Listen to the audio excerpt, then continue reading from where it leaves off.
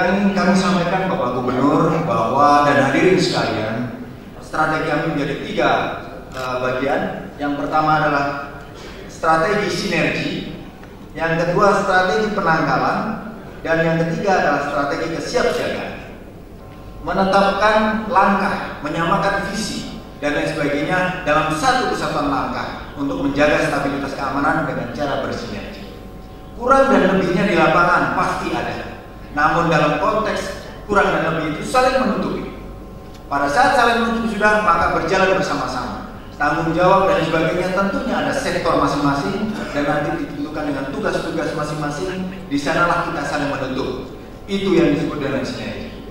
Untuk menjamin penyelenggaraan pengamanan pilpres dan e, pemilu legislatif di wilayah Nusa Tenggara Timur adalah sinerginya TNI dan Polri. Tidak ada jalan lain karena pemerintah atau komisioner KPU tidak akan bisa melaksanakan tugas dengan baik apabila TNI dan Polri tidak menjamin keamanan di wilayah Nusa Tenggara Timur. Kemudian yang kedua adalah strategi penangkalan bahwa strategi penangkalan ini dilaksanakan untuk menciptakan deterrent effect. Kalau kita melaksanakan latihan seperti kemarin, tentunya masyarakat melihat, oh pasukan latihan, aparat latihan. Dengan latihan ini tentunya kita menggunakan SOP atau prosedur yang sudah dilakukan. Maka kita semakin paham dengan SOP, kemudian masyarakat melihat oh aparat siap, di sanalah muncul efek-efek tangkap. Sehingga upaya-upaya pihak-pihak yang ingin memanfaatkan ketidaksiapan, ingin memanfaatkan kekurang pahaman aparat dalam pentahapan tidak jadi. Karena apa? Karena yakin dengan kesiapan kita, mereka mengurung kalian. Itulah yang memacu efek deterrent.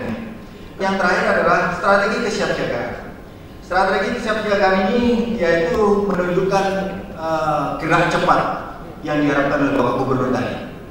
Dengan kesiapsiagaan tentunya kita akan bergerak satu langkah lebih cepat daripada kita tidak siap. Salah satunya adalah pemahaman tentang teknik, prosedur, bagaimana pentahapan pemilu dan sebagainya. Dengan kita tahu pentahapan pemilu maka kita akan sadar saya sekarang berada dalam tahap apa. Kalau sekarang saya dalam tahap pemilu tentunya kerawanan-kerawanan yang muncul apa. Itu maksudnya kesiapsiagaan. Demikian juga dengan kesiapsiagaan lain yang sifatnya uh, tentang ancaman terorisme, kelompok bersenjata maupun bencana